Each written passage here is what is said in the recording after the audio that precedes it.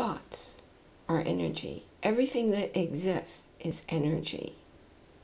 The philosophers of thousands of years ago, of the last two centuries, today, will tell you that everything is energy. That your thoughts are real energy.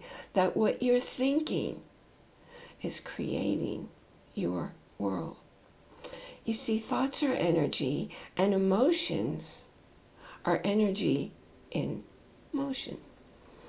So your thoughts are creating your emotions, which are creating your interpretations of events in your world, which means you are creating your unique reality.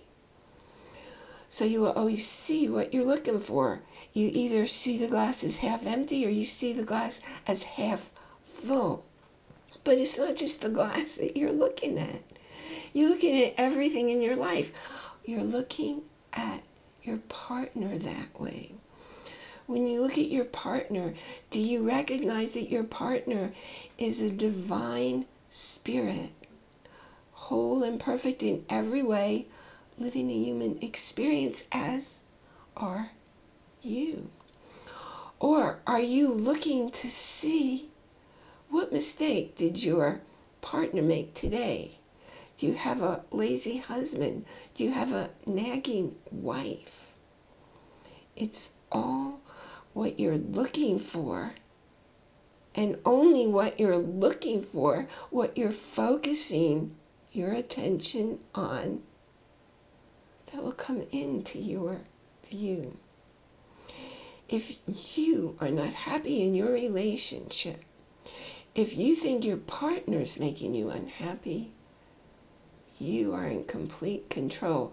Search for what you love about your partner. Look for the behaviors that make you happy that your partner does. You fell in love for a reason.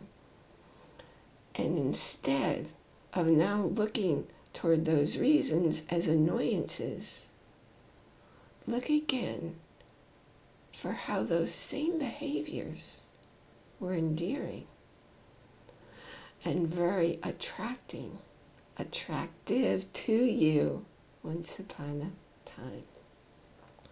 Build your relationship intelligence with me, Ali Bierman, over at yourrelationshipintelligence.com.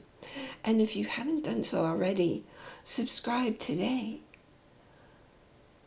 because new videos are coming at you every week.